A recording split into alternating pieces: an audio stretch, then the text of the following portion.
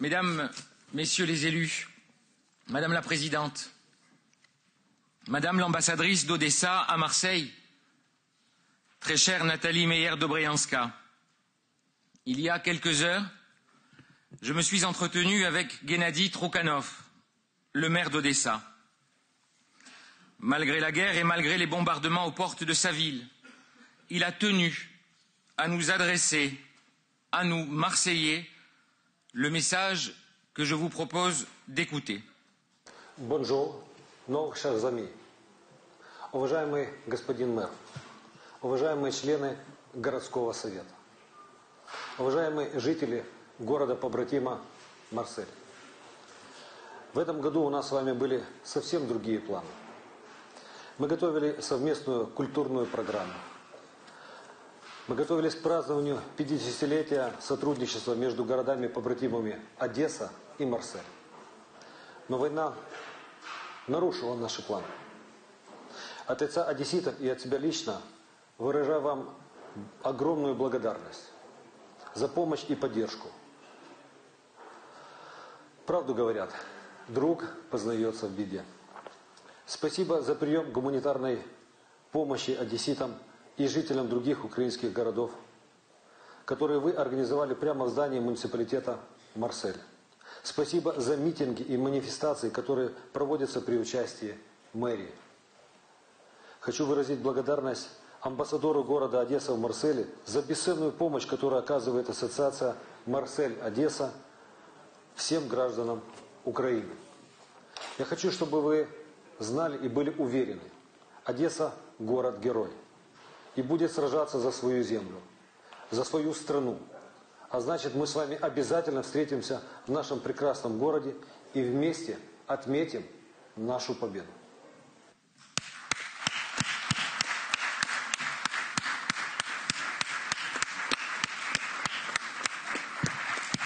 Ils sont en train de nous regarder.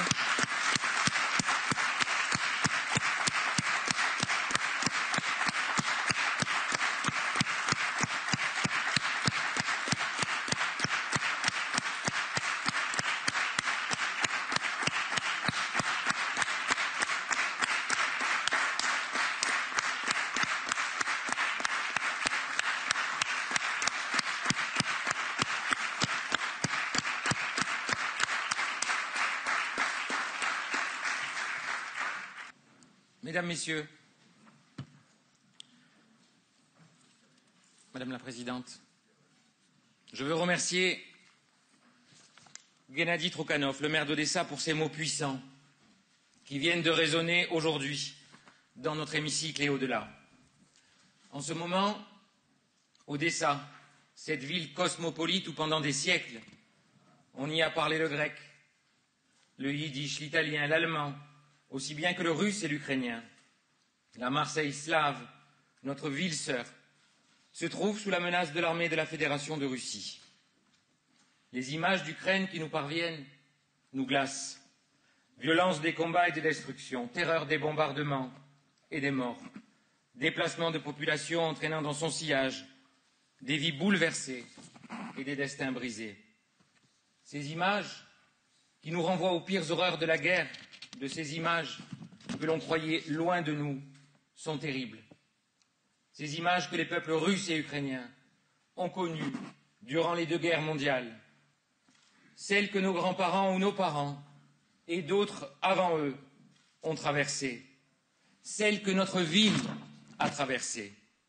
Marseille, ville bombardée, ville qui a vu des quartiers rasés, des habitants raflés, connaît le poids de la guerre.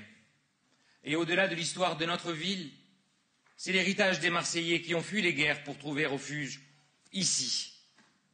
Nous sommes les descendants de ceux qui, dans cette ville multimillénaire, ont un jour trouvé asile, refuge et accueil inconditionnel. L'histoire se déroule sous nos yeux et convoque une nouvelle fois notre humanité. Dans ces moments de drame et d'inquiétude, les Marseillaises et les Marseillais ont témoigné d'une solidarité exemplaire. Quels que soient nos quartiers, nos histoires, nos choix politiques, Marseille est rassemblée. Elle est rassemblée quand des centaines de Marseillais sont venus spontanément déposer des dons pour les réfugiés. Nous nous sommes réunis hier soir par milliers aux côtés de grands dirigeants européens pour dire notre refus de la guerre. En concertation avec les services de l'État, avec notre bataillon des marins-pompiers, en lien avec l'assistance publique des hôpitaux de Marseille, la ville est prête pour accueillir des familles ukrainiennes. Lorsque la paix est entravée, c'est collectivement que nous devons être à la hauteur de l'histoire. Les villes ne font pas la guerre. Les villes font la paix. Ne cédons pas aux sirènes du repli sur soi. L'histoire qui nous jugera a besoin en cet instant d'une indéfectible solidarité entre les peuples. Avec le peuple ukrainien, avec nos frères et nos sœurs d'Odessa et avec le peuple russe qui, dans des dizaines et des dizaines de villes, se lève avec courage pour dire non à la guerre. Notre force réside dans cet espoir de reconstruire la paix. Élus de la représentation municipale, quels que, quels soient nos choix politiques, quelles que soient nos divergences, où que l'on siège sur les bancs de cet hémicycle, je sais que nous affichons ici, ensemble, au nom des Marseillais, la force de notre unité, et c'est en votre nom à tous que ce matin, j'adresse un message unanime et fraternel aux habitants d'Odessa et à toute l'Ukraine.